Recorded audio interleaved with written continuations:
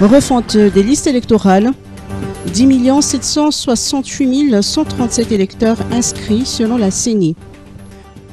La liste arrêtée le 10 juin dernier, issue de la refonte totale des listes électorales et du registre euh, électoral national, fait état de 10 768 137 électeurs, d'après le rapport de la Commission électorale nationale indépendante en conférence de presse hier à Alarbi. La saisie des fiches des personnes recensées avant le 31 mai se poursuit dans les commissions électorales de district.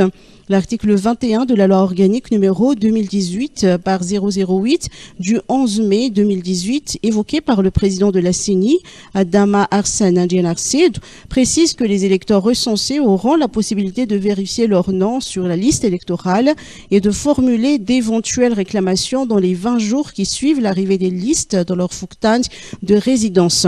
Le registre électoral national sera établi le 20 juillet prochain. Barea contre Black Stars. Billets en vente dès demain. Les tickets d'entrée au match qui opposera les Barea aux Black Stars du Ghana dans le cadre de la cinquième journée des éliminatoires de la Cannes en Côte d'Ivoire sont en vente à partir de demain jusqu'au samedi 17 juin chez euh, Score Spart Tanzubat et au stade Barea de Mamas. La vente en ligne sur www.ticketplace.io est toujours opérationnelle. Les tarifs sont fixés à 5 000 arrières pour les gradins, 10 000 arrières pour les tribunes supérieures et 30 000 arrières pour les VIP.